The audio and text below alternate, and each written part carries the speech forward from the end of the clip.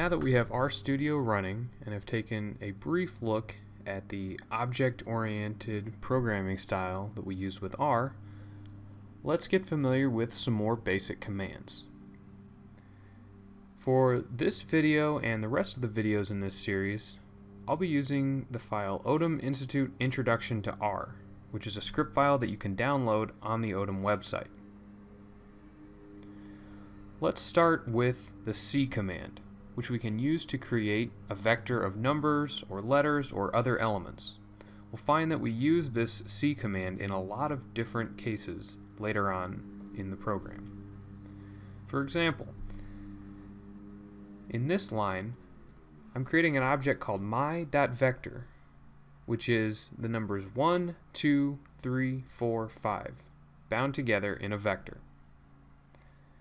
This highlights the basic idea behind pretty much every R command that we'll use.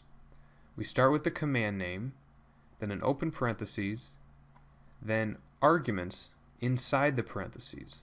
In this case, the arguments are simply the elements that we want to put in this vector. I can run that line, then I can run the line that just has the name of the object to print it out. You can also create sequences of numbers in R.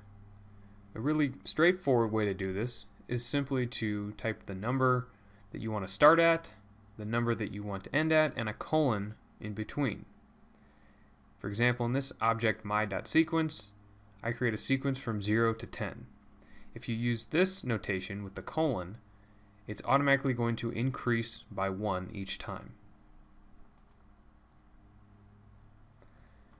Another option for creating sequences is the seq command. In this case, the arguments inside the parentheses are the first number or the starting number, the last number or the ending number, and then there's an argument called by, which is telling R what numbers to count by in creating this sequence. In this example, I'm again going from 0 to 10, but now I'm counting by 2.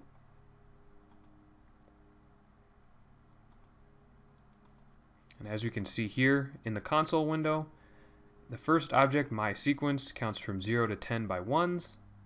The second object, mySequence2, counts by 2s. Another useful command is the rep command, REP. That stands for repetition. In this case, I'm going to combine the rep command with the C command that we already learned. Notice that my first argument to rep is the C command and the numbers 1, 2, 3. Then I've got another argument called times, which I set to 8.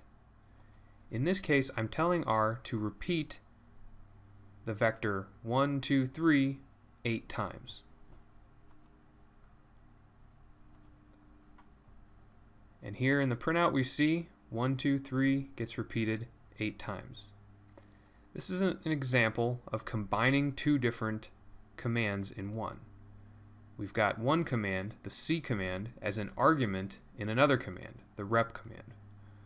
We'll find as we go through this course that we use this strategy in many different cases.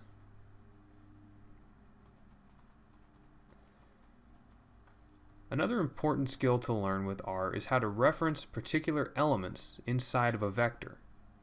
For example, let's say we wanted to display the fourth element in that object called mySequence. The way we do this is with the square bracket notation. We type the name of the object that we're interested in, in this, in this case mySequence, then square brackets. Inside the square brackets we put the number of the element that we want to refer to. So in this case, number 4.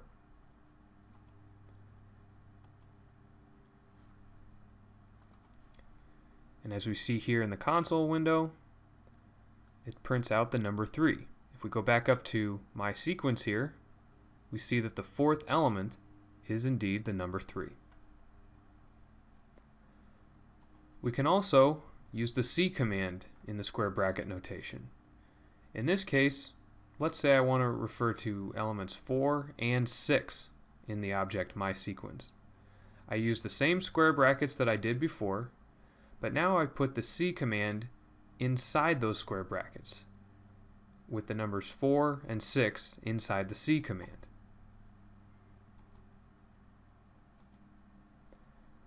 this produces the number 3 and 5, which is the fourth element and the sixth element of the object mySequence. Now let's say we wanted to omit one or more elements from a vector. For example, in this case, let's say we don't want the third element of the vector my sequence. We could put all of the numbers except the third element inside the square brackets inside the C command like we saw here, or we could just simply write minus 3 inside the square brackets. This produces all of the elements in that vector except for the third element, which is the number 2. Notice that's missing here. Another command that's useful is the sample command. Sample draws a sample with or without replacement from a vector. For example, let's say we wanted to draw a sample from the object mySequence. In this case, I'm going to set the argument replace to true, meaning that each time an element is drawn from mySequence, it then gets put back into the sequence and could be drawn again.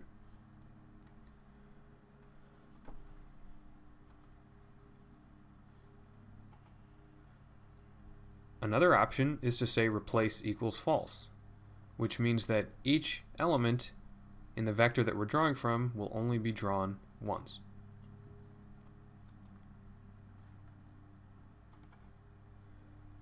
By default, when using the sample command, R draws the number of elements that are in the sequence.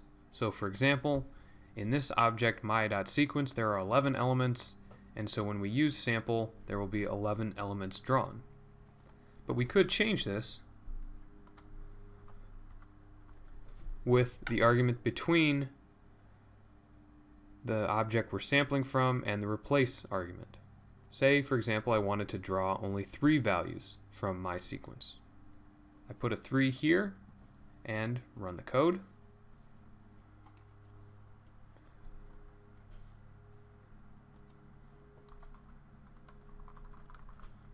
Then if I print that code out, we see that it only drew three elements from that sequence. There are several additional arguments and features in the sample command. And so that makes a good example for using the help function in RStudio. If we go to the help menu and search for sample, we can find the R documentation on that command. This documentation shows the usage of the function, it shows the various arguments with an explanation for each one, and has several other details about the command. It also has references and, in many cases, examples of how to use the command.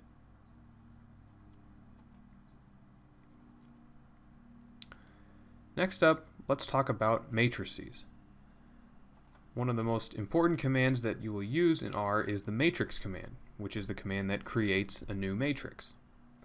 There are three essential arguments with the matrix command, although of course there are many more. The first argument is the information or the data that you want to put inside your new matrix. This can take a number of different forms, but in this case, I'm going to put a sequence from the numbers 1 to 9 in this new matrix.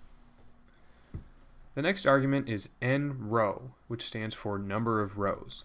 I'm going to set that argument to 3. Then finally, ncol stands for number of columns. I'll also set that to 3.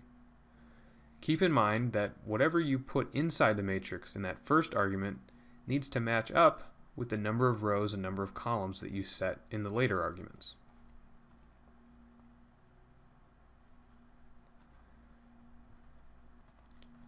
Here's what the matrix looks like. Counts from 1 to 9 going by columns. 1, 2, 3 in the first, 4, 5, 6 in the second, 7, 8, 9 in the third. If you want to fill in the data by row, you can simply type by row equals true as an additional argument inside the matrix command.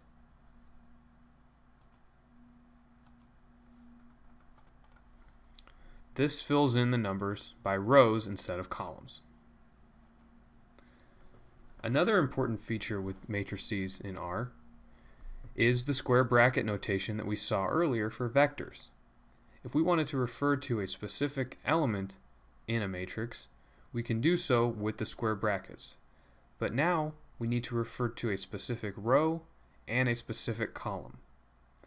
So, for example, if I wanted to refer to the element in the second row, second column, I would type 2, comma 2 in the square brackets. Or if I wanted to refer to the second row and the third column, I would type 2, comma 3. The first number is the row number you want, the second number is the column number. You can also refer to entire rows or entire columns of a matrix.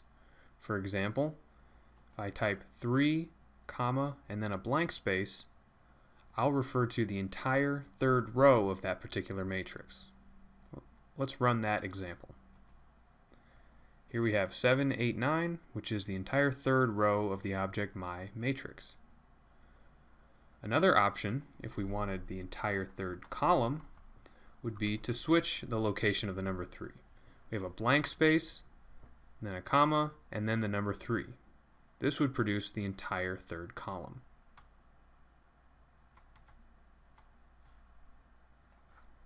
This concludes the video on basic manipulation of objects focusing on vectors, sequences, and matrices. In the next video, we'll look at some basic functions and how to use them and create new functions in R.